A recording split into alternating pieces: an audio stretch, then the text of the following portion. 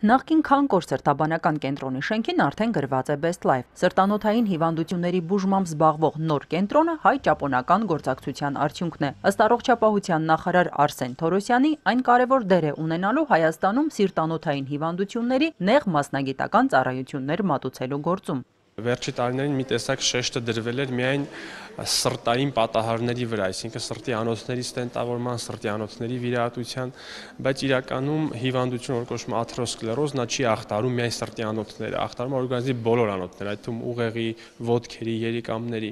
Եվ ամբողջ աշխարհում արդեն բավականին առաջ էին անցել մեզանից եւ կատարում էին գործողություններ բոլոր անոթների վրա։ Դրա համար առաջացավ, այսպես ասած, բարի նախանձը, որ Հայաստանը եւս պիտի հետ չմնա մասնագիտական զարգացումներից եւ ճապոնացիների հետ մեծ քննարկումներից հետո որոշվեց Հայաստանում բացել այս հայ-ճապոնական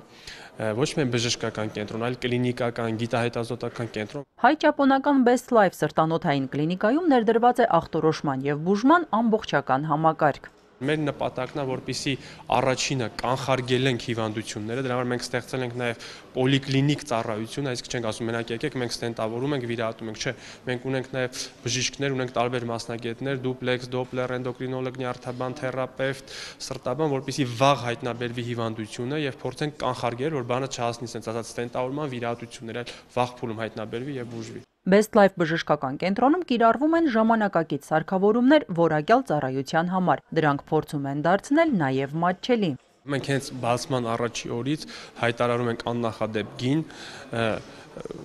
մինչև այսում կորոնարանոթների ստենտավորումը կատարվել է տարբեր կենտրոններում 900-951 միլիոն տարբեր գներ, մենք հայտարարում ենք 800.000 դրամ